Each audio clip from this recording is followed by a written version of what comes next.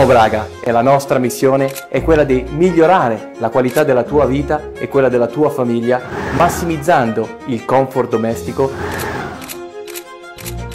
e garantendoti il massimo risparmio energetico.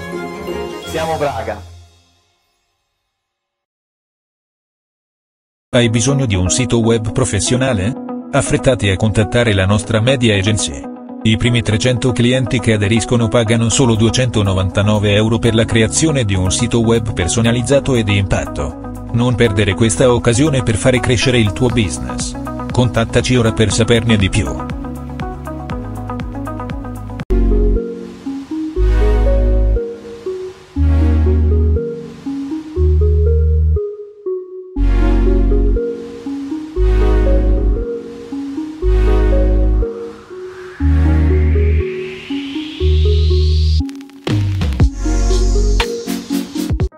Salve, affrontiamo un argomento che ci riguarda un po' tutti, che è quello della solidarietà, ma soprattutto dell'impegno.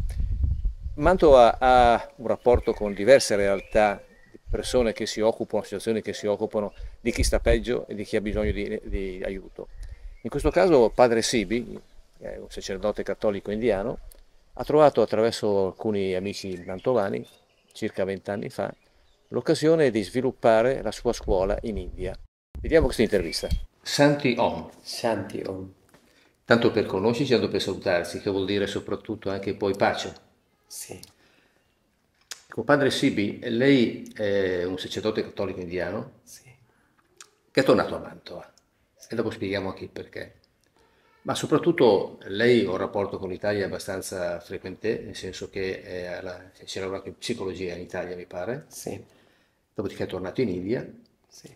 E mosso da una spiritualità probabilmente innata, ha fondato una scuola, dopo ci spiegherà anche, anche le caratteristiche, soprattutto nel sud dell'India, una delle zone forse più povere, più anche disperate. Ma quello che ci coinvolge direttamente è il fatto che lei ha avuto questo rapporto con Mantova. Ci sono due persone, Livio Boscaini e la signora Stefanini, che hanno fatto un viaggio in India, diciamo fosse il viaggio turistico, ma soprattutto anche di conoscenza. Siamo nel 2000, mi pare, 1990-2000. Giusto, giusto. Ed è praticamente l'anno o il periodo in cui lei fonda la scuola. Sì. E occasionalmente lei cosa fa? A un certo punto sa di questi mantovani che sono venuti e li vuole incontrare. Fa 300 km, è andata, 300 ritorno, e tra voi nasce una specie di fuoco, una scintilla. Giusto. Di solidarietà. A distanza di 22 anni, 23, in questo mondo pazzesco, impazzito, folle, c'è bisogno in effetti di qualcuno che si occupi anche di quelle che sono le persone che stanno peggio di noi. E soprattutto lei si è occupato degli orfani e dei bambini che praticamente sono in difficoltà. In questi 23 anni lei ha cresciuto però una comunità, dopo ci spiegherà anche il nome preciso, che è a livello internazionale. Lei infatti adesso si trova qui a Mantova, ma poi farà un viaggio in Italia attraverso varie città, non tanto per raccogliere dei fondi che sono fondamentali, ma soprattutto per dimostrare quello che è la sua attività e soprattutto di cosa hanno bisogno questi ragazzi. Adesso vengo subito a lei, nel senso che sono stati due anni terribili con il Covid, lei ha sottolineato un periodo veramente drammatico e c'è un problema di acqua, ma ne parleremo dopo dell'acqua. Ecco, il suo ritorno a Mantova, ci spieghi un po'. Allora, la città di Mantova per me è stata sempre come il punto di partenza. Se non per Gruppo Livio, Sergio, la Maria Teresa, Stefanini, eh, c'era Antonio, Bari, Enrico e Celestina. Questo gruppo, se non c'era per loro, forse il mio sogno di iniziare questo cammino spirituale non si realizzava. Perché? Spiego. Quando sono venuti loro, eravamo d'accordo che io andavo a trovarli e ci siamo trovati, ci siamo stati assieme quella sera, prima che io prendevo il bus di ritorno per Bangalore verso mezzanotte, abbiamo avuto di- il tempo di raccontare, di conoscerci. Come dicevo ieri sera, ho chiesto solo l'aiuto di ognuno di comprare un mattone. La mia idea era non veramente creare eh, una struttura per accogliere i bambini o una scuola. Queste cose sono derivate dopo. dopo. La mia idea era di creare un centro spiritualità, perché in India noi siamo di ogni religione. Ci sono induisti, musulmani, eh, buddisti, cristiani, jainisti, di ogni religione e ci sono sempre problemi. Sono cresciuto vedendo questi problemi. Allora in tutti questi anni io mi chiedevo, ma perché la religione che ci deve portare, queste religioni che ci devono portare a Dio, a vivere in pace, amando a vicenda, perché tutto questo problema? Perché si ammazzano?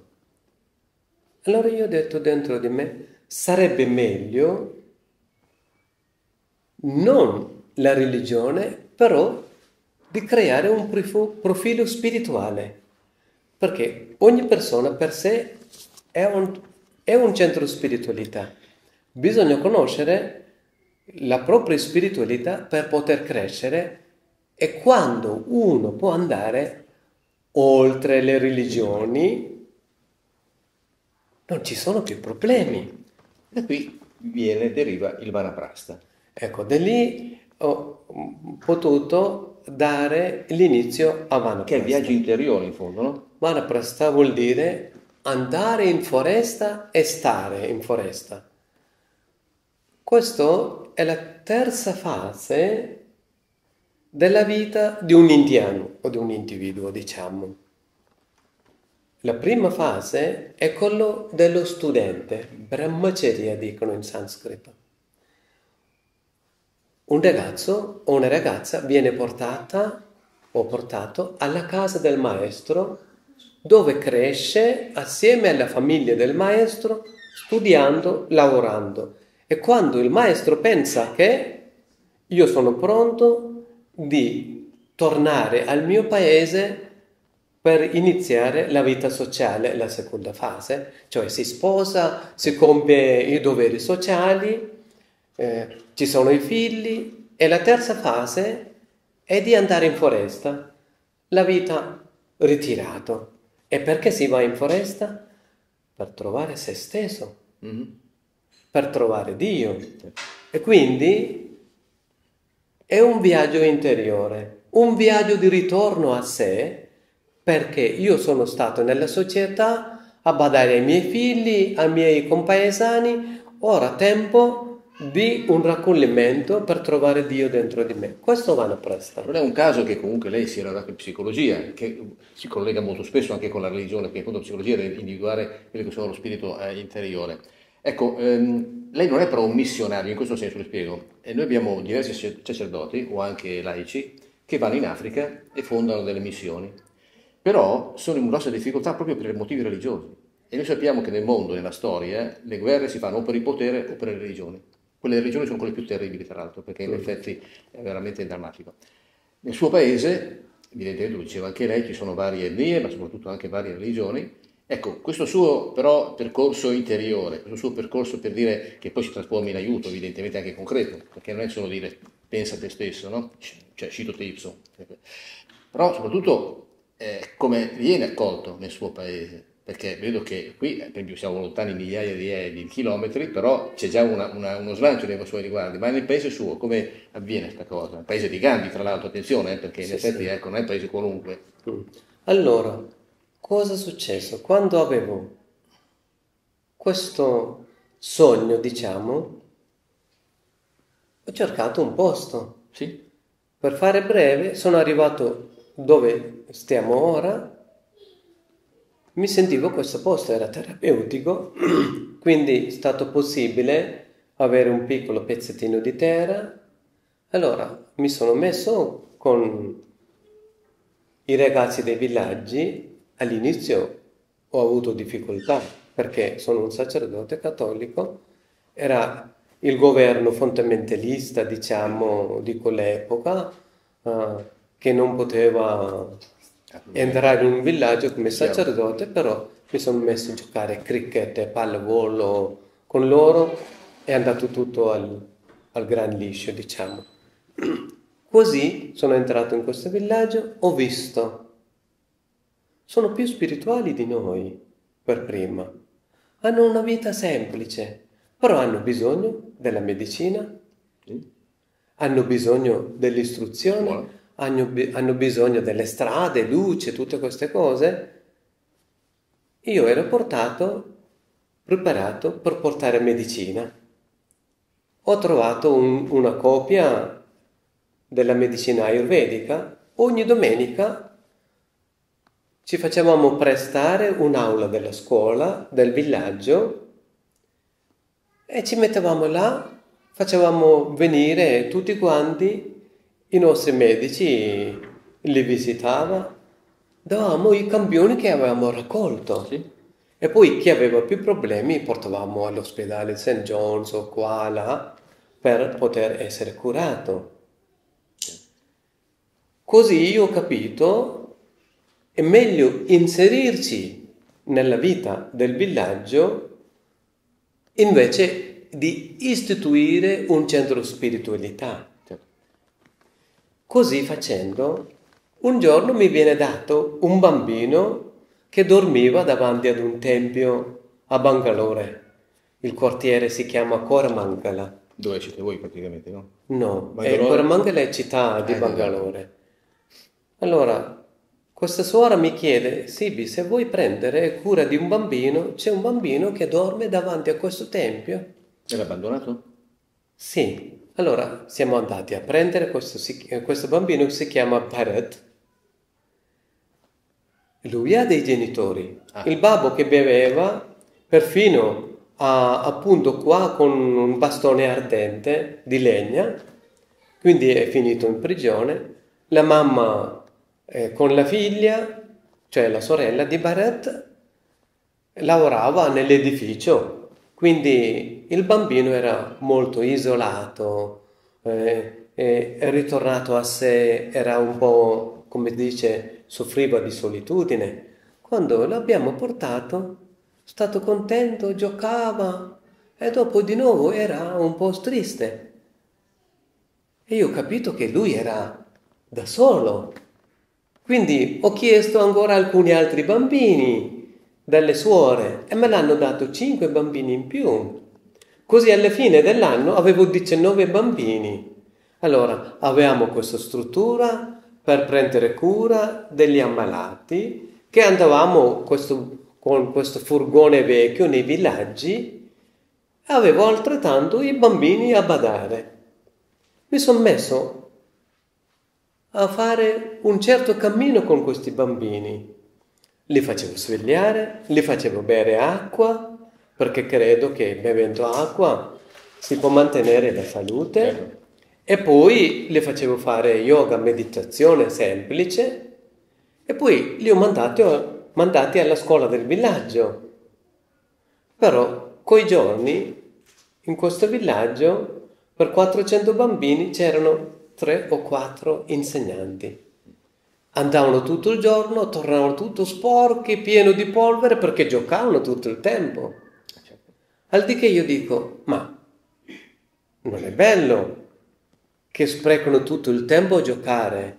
Bello giocare, però devono anche studiare qualcosa. Da lì io ho pensato, forse sarebbe bello che se possiamo iniziare una scuola. Così è nata la scuola, è un gran, un bel po' di cammino c'è, non sto a raccontare tutto. Così abbiamo questa scuola dove ora ci sono 1600 ragazzi. Tutto questo è uno slancio che viene da dentro, evidentemente, sì, sì. perché si è trasformato poi. Quello che poteva essere semplicemente un suo supporto interiore, però si è materializzato in queste realizzazioni. Però tutto questo perché sì?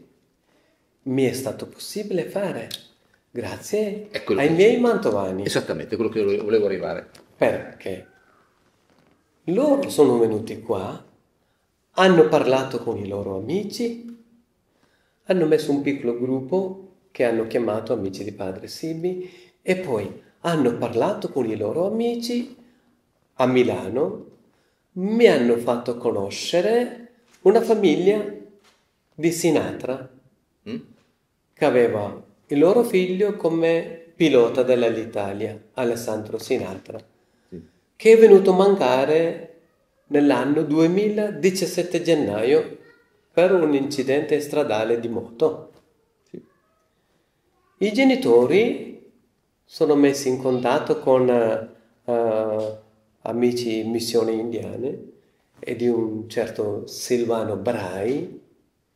Tramite Livio ha conosciuto me, ci siamo messi in contatto ed è lì è partito tutta la provvidenza del Signore. Così la casa dei bambini abbiamo chiamato, perché hanno finanziato loro, Centro Alessandro Sinatra. Ancora esiste. Certo. Io, eh, se mi permette, farei, chiamerei Livio Boscherini qua con me, si siede qui un attimo fianco a noi perché così riusciamo a prendere la sedia, perché così riusciamo a coinvolgerlo direttamente perché è stato citato e in fondo è stato uno dei promotori Livio, quindi buongiorno innanzitutto Livio. È stato il cofondatore. Ecco, buongiorno. ecco questa, questo che sta dicendo il padre Sivi no? è, è molto, molto, bello perché dà anche gratitudine a voi, ma come mai questo lancio poi, perché potevate anche non interessarvene, invece siete stati coinvolti? Ma perché noi eh, siamo un gruppo, di, un gruppo di amici, tutte coppie che hanno adottato uno o due bambini indiani. Cioè avevamo già un'esperienza dell'India, diciamo, siamo già stati perché noi eravamo già adottato nel, nell'89, 90, 92, 93, eh, eravamo già stati in India un paio di volte adottando dei, i nostri figli, diciamo. E anche questo è un gran gesto comunque. E, e tutte le, queste coppie che ha nominato il padre Sivi eh, sono tutti amici che siamo, abbiamo fatto questo viaggio nel 2000. Certo. Ed è lì noi siamo stati, tra l'altro, siamo stati incaricati da questo signor Brai, che è, sarebbe il responsabile economico della, dell'associazione Amici, Amici dell'India, am, Missioni Indiane. Amici Missioni Indiane. E cosa è successo? Che lui, quello, questo signor Brai mi incarica di conoscere questo padre Sivi. Noi andiamo, uh, andiamo a, in India e eh, la, la Stefanini gli viene consegnato il destino questo, Salvoni senza avere niente in mano, senza, gli dà un milione da portare dove vuole. Di lire. Di lire, un milione di lire, era il 99, e gli dà questo milione da portare dove vuole. Noi, consultandoci, abbiamo deciso, noi potevamo lasciarne, noi abbiamo lasciato qualcosa alla missione, di nostro, diciamo, noi amici, e abbiamo deciso di dare, di evolvere questo milione, di darlo a Padre Sibi. Padre Sibi ha fatto questi 300 km sì, in una notte, che poi è stato tutto il giorno con noi fino alla sera e poi è ripartito perché il giorno dopo aveva, aveva un matrimonio e è ritornato a casa suo. E lì l'abbiamo conosciuto. Quando io sono tornato, son tornato dall'India, ho, ho, telefonato a Brai e sono tornato il 13 di gennaio. Avevo conosciuto Padre Sibi il, il 5-6 di gennaio, adesso la data giusta eh, può essere un giorno più, un giorno meno, e, e, e dico a Brai, eh, ho conosciuto un sacerdote, all'epoca avevamo 23-24 anni in meno. Tutti e due. Un, sì, un sacerdote giovane, molto dinamico, molto, molto cioè che ci si può fidare. E, e mm, Brai dice, vabbè, allora, però io gli ho telefonato un po' di giorni dopo, praticamente era già successo questo incidente a Beh, questo ragazzo, il pilota. Il, questo pilota dall'Italia, che abitava a Roma lui, mentre la famiglia era di Milano, eh, che sono siciliani. Cosa succede? Che loro eh, vogliono, telefonano a Brai, a questi, siccome era lui, eh, Alessandro Sinatra, quando volava a Bombay, eh, aveva, diciamo, gli piaceva andare in giro per la città, avvicinare 30, 40, 50 bambini, quelli che trovava, e gli faceva dei regali, gli dava da mangiare, gli, insomma... Un benefattore. Era un benefattore, era uno che gli piaceva, non voleva vivere solo da, da, da pilota, ecco.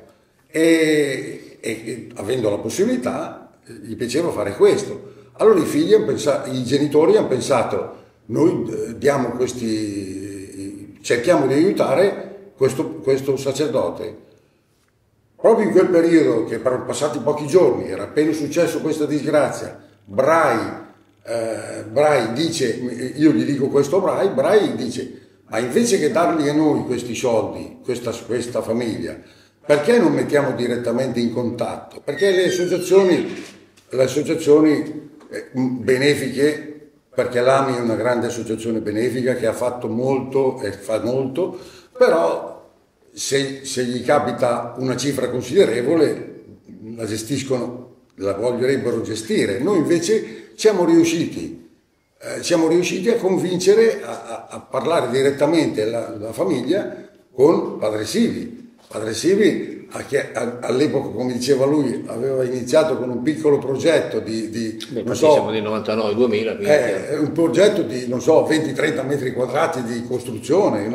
Io gli ho detto, qui bisogna cambiare progetto perché qui c'è da fare una costruzione da centinaia di metri, metti in programma, cambi i programmi e vedrai che arrivano i finanziamenti. E in febbraio, in febbraio-marzo, verrà la famiglia a Bangalore a trovarti e gli farai vedere quello che, vuoi, quello che stai facendo e loro ti finanziano. Ti finanziano con i soldi che, perché hanno venduto i beni del figlio e con questi soldi di beni del figlio hanno contribuito. E da lì è nato tutto.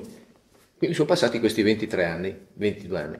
Come mi hai detto padre, le cose sono cresciute, i ragazzi eh, crescono, crescono anche loro, perché per questo bambino, per esempio, che ti ho trovato davanti quanti anni ha adesso? Avrà 20 anni anche lui? No, di più. Di più, eh, sì, perché le cose, sì. piccolo esatto è... È sposato? Ecco. Ha due figli. Ecco, vedi che bello. Lavora in città di Bangalore. Poi mi diceva che eh, adesso la scuola è strutturata in un sì. certo modo, ma siete a un livello anche abbastanza alto, nel senso che avete dei, dei laboratori, avete, siete strutturati in un modo anche poi, eh, diciamo, tecnologicamente avanzata. Sì. Quindi avete informatica, tutto, cioè i ragazzi seguono e, e poi trovano occupazione? Sì, certo. Allora, come attività, sì? noi abbiamo ora varie attività. La scuola ha 1600 alunni con un ostello anche, dove ci sono quasi 45 miei ragazzi che erano una volta a casa perché la casa ho riaggiustato con altre cose che vi racconterò ora. La scuola va avanti. Sì. Noi educhiamo i ragazzi in una maniera un po' diversa dalle altre scuole, perché non c'è distinzione delle, delle religioni. Noi non diciamo buongiorno, buonasera, abbiamo insegnato ai bambini a, essere, a dire Shanti Om. Shanti vuol dire pace, Om vuol dire Dio, pace di Dio, amore di Dio. E gli abbiamo anche insegnato una preghiera Om Shanti Om, cioè questa pace di Dio che è dentro di me e dentro di voi, che sia ovunque. Ora se venite alla nostra scuola e nei villaggi del quale vengono i ragazzi, sentite dire solo questo Shantiyo. Non c'è buongiorno, buonasera, non esiste. E non solo, abbiamo creato questo concetto di considerare i bambini come Dio. Anzi, davanti al scu- alla nostra scuola è scritto, in questo tempio dell'educazione adoriamo il Dio tuo figlio. Quindi i bambini vengono considerati come dei, vengono curati, vengono formati e noi insegniamo ai bambini a fare yoga e meditazione. Ci sono tre insegnanti a tempo pieno. Imparare, praticare yoga è un dovere. Questo quando è la scuola. Invece abbiamo questo ambulatorio con il quale abbiamo iniziato tutto, va avanti, c'è il dottor Manu che è stato educato in medicina ayurvedica interamente dalla Stefanini, ha finanziato tutto lei con la famiglia pratica medicina là, ora, ogni giorno ci sono minimo 300 ammalati che vengono, tutti diabetici. Sì, Perché l'India ha più di 35% diabetici. delle Dipende diabetici. dall'alimentazione e tutto il resto. Sì, c'è qualcosa che non va. C'è una cosa che volevo chiederle. Lei un rapporto con il Papa Francesco l'ha cercato, l'ha avuto, non lo può avere, non lo so. O può essere interessante anche parlare col Papa di questa cosa? Perché in effetti non è, non è che sia la guida di tutti il Papa, però evidentemente è un riferimento che lui è molto, gesuita, lui, però è molto vicino a quelli che sono le, le- le vostre... Mi interesserebbe forse un incontro, può essere utile, non lo so. Questo non lo so. Se la natura vuole che avvenga, altrimenti... Non l'ha chiesto comunque un incontro con il, No, non ho mai chiesto. Santo Padre. Non ho mai chiesto. Ecco, poi Ma noi nel nostro piccolo cerchiamo di fare il nostro meglio Mm. Adesso e diamo tutto il cuore a fare. adesso le faccio una provocazione evidentemente. Avanti popolo. Stiamo, avanti popolo. Stiamo vivendo un periodo durissimo. Sì. Eh, c'è peggio di così, penso, ci capita di tutto, no? Disgrazie, guerre, malattie e tutto il resto.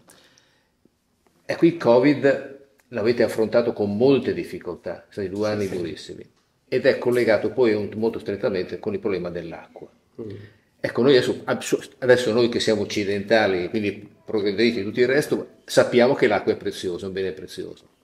Per voi ancora di più, evidentemente. Ecco, in quel settore, cioè, per dire, perché dicevo anche prima, si può anche non mangiare per qualche tempo, ma se tu non bevi per qualche tempo muori, chiaro? Quindi acqua è fondamentale. Ecco, co- avete risolto questo problema? Perché sono gli acquedotti, ci sono i pozzi, eh, com'è, com'è la situazione? Allora, il fatto che in queste parti del mondo e che fuori dalla città di Bangalore non esiste acqua di superficie. Ecco, Non esiste. Bisogna trivellare come ora 1500 piedi in profondità, più di 400 metri per trovare l'acqua. La qualità dell'acqua non è un granché perché è pieno di calcare. Se lasci acqua nel secchio, in fondo vedrai tutto bianco. Anzi, spesso, almeno una volta all'anno, dobbiamo cambiare diversi tubi vengono- perché vengono depositati tutto calcare e tutto otturato. Succede così. Però abbiamo avuto la fortuna di trovare l'acqua con tante difficoltà. E poi non è che una volta che abbiamo trovato la falda, non è che una falda è eterna, perché fanno tutti quanti questi pozzi, trivellando, e quindi è possibile che la nostra acqua viene presa da un altro. Però, per fortuna, noi riusciamo ad andare avanti. L'acqua è come molto importante, l'acqua è vita. Cerchiamo di insegnare ai bambini di risparmiare l'acqua. E questo è molto mi importante. dice qualcosa Pedrolo for People? Sì. Allora, la nostra scuola è stata tutto finanziata da- dal signor Pedrollo. Esatto. Immagina un po' che lui non è mai venuto da noi. La figlia è Sì. stata, l'Alessandra Pedrollo è stata da noi, ha visto tutto. Eh, grazie a lui che abbiamo potuto mettere questa scuola in un campus di quasi tre ettari di terreno. C'è un'accademia dello sport di un ettaro e mezzo insegniamo anche calcio, pallavolo, pallacanestro, l'atletica, tutto quanto, tutto grazie a loro e non solo che ci ha aiutato a costruire la scuola, ci ha donato delle pompe per tirare fuori Sono l'acqua. specializzati infatti loro. Sì, sì, Eh, veramente grazie a questa persona di un gran generosità. Ehm, ovviamente, andiamo sul concreto, servono sempre risorse economiche, Certo. giusto? L'economia è quella che è, i disastri sono quelli che sono, e ci sono queste missioni, queste, queste- queste solidarietà, perché tutte le parti chiedono risorse, perché evidentemente dobbiamo essere tutti generosi. Ecco, lei però è riuscito a ins- inserirsi in, una- in un canale di solidarietà particolare, da quello che capisco, eh, perché non ci conosciamo prima, nel senso che ha trovato il suo carisma, è riuscito a trovare eh, rispondenza. Dicevo, ci sono tante persone che hanno bisogno, però la sua scuola, strutturata in questo modo che, parte appunto dal, dalla spiritualità, dall'interiorità, dal Dio al di sopra di tutto e tutte le tue religioni, quindi probabilmente lei eh, ha saputo personalmente eh, avere la capacità di attirare a sé. A parte i mantovani generosissimi, però adesso lei girerà per l'Italia perché lei a Parma, Milano, Roma, dappertutto. Ci è riuscito, ecco. quindi eh, io... cos'è che può essere stato l'elemento che ha toccato, la scintilla che può aver toccato questa casa? Per me non è tanto la mia capacità. Eh, loro sono per, per prima i missionari. Ma lui ha detto una cosa, affidabile. Ha detto prima la parola affidabile. Certo, bisogna fare con tutto il cuore.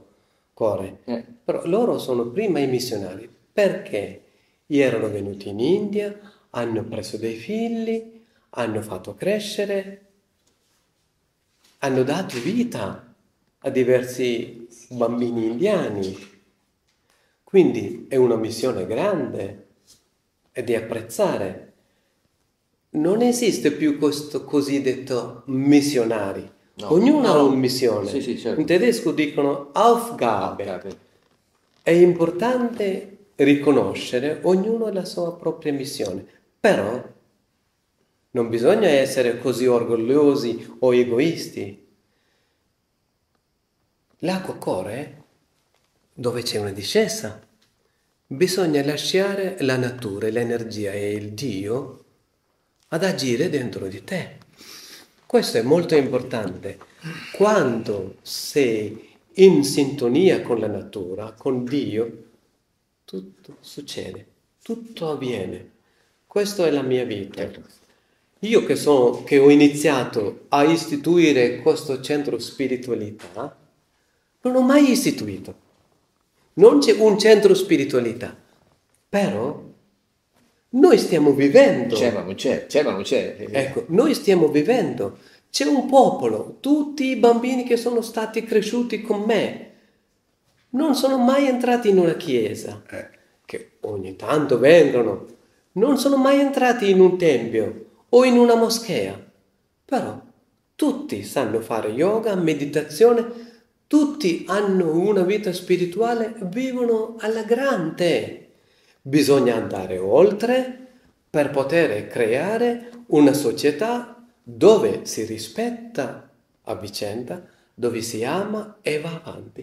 Questo è molto importante. Volevi dire? No, eh, volevo dire solo questo, che praticamente Padre Sivi come cattolico, e visto che i cattolici sono 4-5 milioni, 6 forse in India, contro un miliardo e mezzo di musulmani e indù, cioè logicamente non può puntare sull'evangelizzazione, cioè nel senso che ognuno è quello che è, se uno è indù rimane indù, certo. lui li aiuta, li aiuta per la vita, certo. li aiuta per farli crescere spiritualmente, ma indipendentemente da che religione eh, praticano.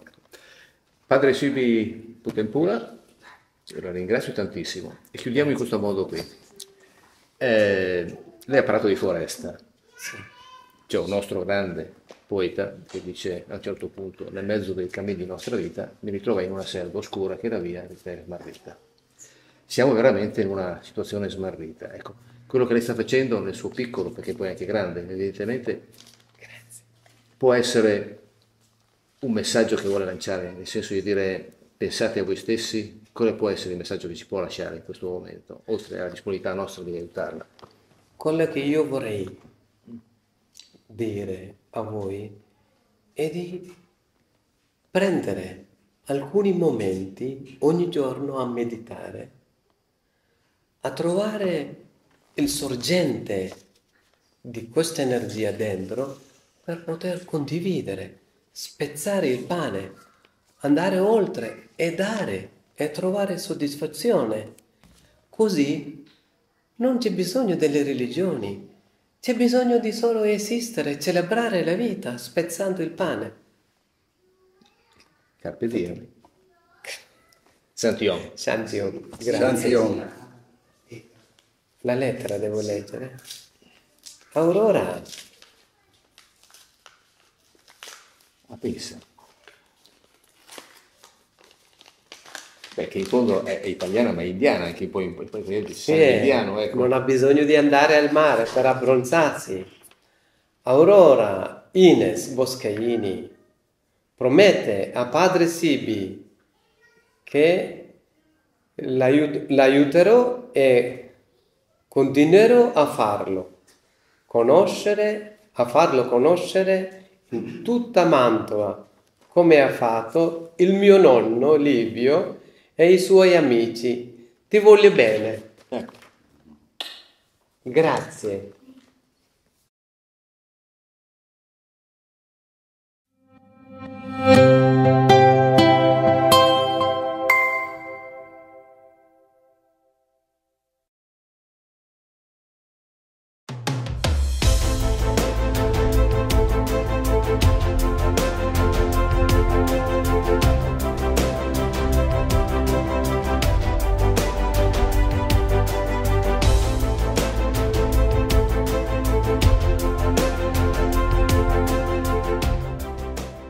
Siamo Braga e la nostra missione è quella di migliorare la qualità della tua vita e quella della tua famiglia, massimizzando il comfort domestico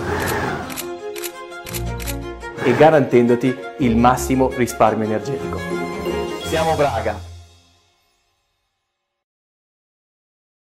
Hai bisogno di un sito web professionale? Affrettati a contattare la nostra media agency. I primi 300 clienti che aderiscono pagano solo 299 euro per la creazione di un sito web personalizzato e di impatto. Non perdere questa occasione per fare crescere il tuo business. Contattaci ora per saperne di più.